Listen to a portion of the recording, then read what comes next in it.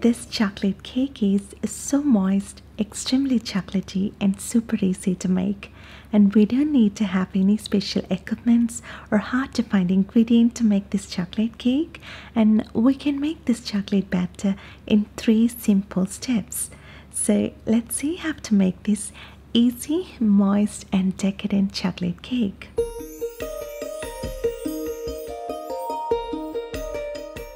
To make this chocolate cake, we'll need some flour, some cocoa powder, some sugar, butter, eggs, some vanilla extract, and baking powder, and some grated or roughly chopped chocolate. So let's start by chopping some chocolate.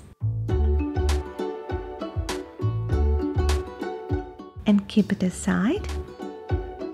And now as the first step to make our cake batter, let's whisk together all of those powdered ingredients. So add into a bowl some flour, cocoa powder and the baking powder and whisk them together so that the baking powder gets evenly distributed in the flour. And now as the second step, let's combine all the best of the ingredients in another bowl. Add the butter.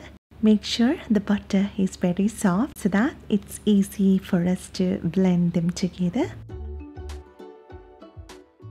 And now add in the sugar. Here I've used a soft brown sugar.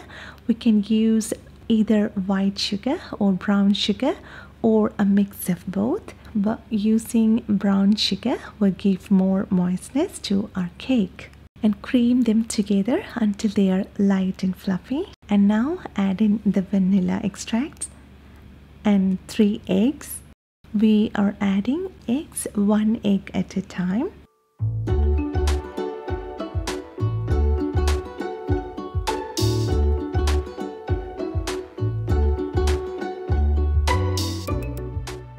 And after adding the third egg you may see the batter gets curdled but that's okay. That's because of the difference in the proportion of the butter and the liquid ingredients.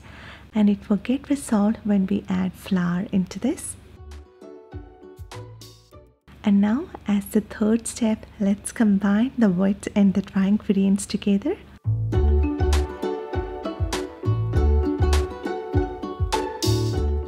so adding the flour mix into this and we need to take care not to over mix the batter after adding flour as overworking with the flour can cause gluten to develop which can result in tough and rubbery cake.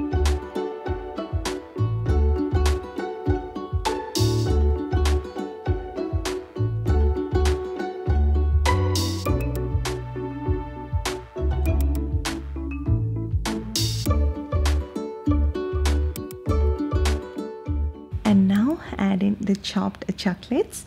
Uh, one thing that we need to remember is that most of the baking powder that we use are double acting and so it will instantly get activated when it get into contact with any wet ingredient. And so once we prepare the cake batter we need to immediately take it into the oven for baking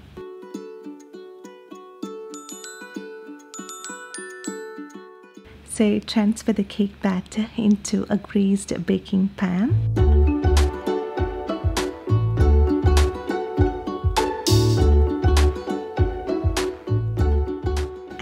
Our cake batter is ready to go into the oven. So bake at 350 Fahrenheit preheated oven for 60 to 70 minutes and you can check the doneness of the cake at around 1 hour by poking a skewer into the center of the cake and if it comes out clean our cake is done. And after baking we'll get a beautiful loaf of chocolate cake and let the cake cool down for 10 minutes and then demold it from the pan. And if you want to top the cake with some chocolate sauce it's so easy to make. Just pour in some hot heavy cream or whipping cream into the finely chopped chocolate.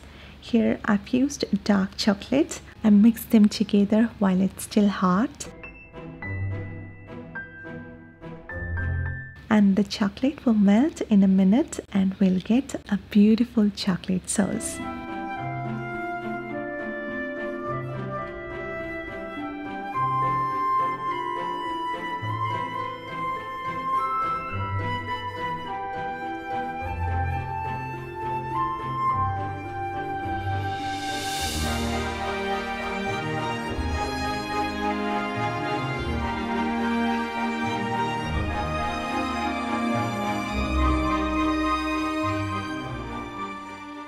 And this chocolate cake is so moist and so chocolatey.